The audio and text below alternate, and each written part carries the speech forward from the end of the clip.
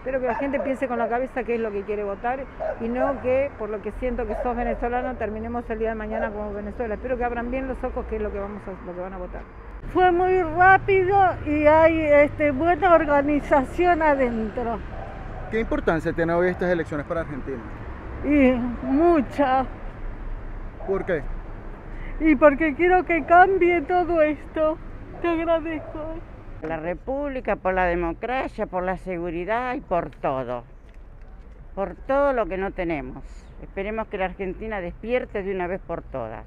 Y bueno, ya tenemos un panorama después de las elecciones paso de la vez pasada. Esperemos, bueno, a ver qué, qué pasa, si cambia o si sigue el mismo resultado que se mantuvo la vez pasada. Eh, ¿Cómo te fue en tu primera votación? Me fue bien, fue bien. ¿Cómo fue el proceso? Eh, nada, fue fácil de entender. eh,